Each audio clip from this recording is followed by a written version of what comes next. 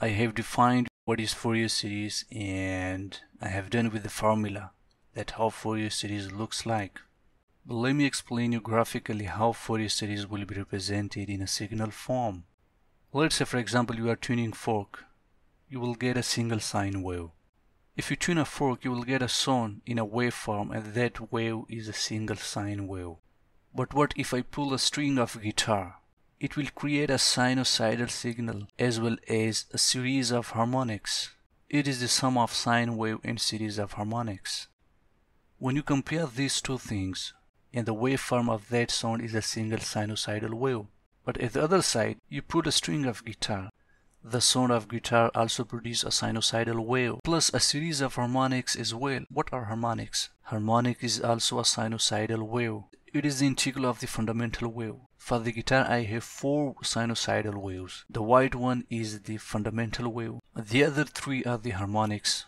Why harmonics are the integral of the sinusoidal wave are the fundamental wave. In this case, the frequency of the fundamental wave which is the white one is 2. And the frequency of the first harmonic which is yellow is 4. The frequency of the pink harmonic is 8. Frequency of the green harmonic is 16. So as you go away from the fundamental wave, the harmonics will be multiplied by 2. That's why harmonics are the integral of the fundamental wave. When you compare the sound created from the fork and the sound from the guitar, it's a very clear difference. You tune a fork, or you hit something, or you drop something. But when you hear the sound from the guitar, you will feel that feelings in your ear that the sound is repeating itself again and again. This over-tuning is because of the series of harmonics the combination of the fundamental wave and the series of harmonics will give you the final note from guitar. In this waveform, this is called Fourier series. It is the combination of the fundamental wave and the series of harmonics.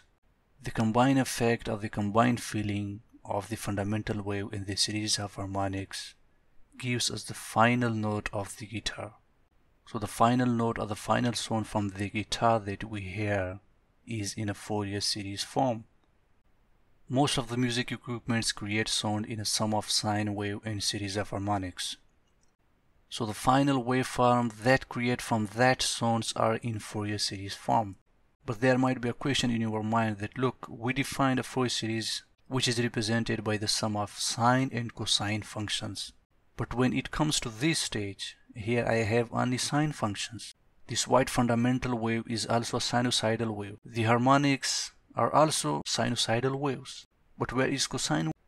Well, in upcoming lecture you will learn that I have two different types of Fourier series. One is even series and the other is odd series or half range sine series. So here I have a half range sine series because I only deal with the sinusoidal waves. But when it comes to its main formula, I have both sine functions and cosine functions.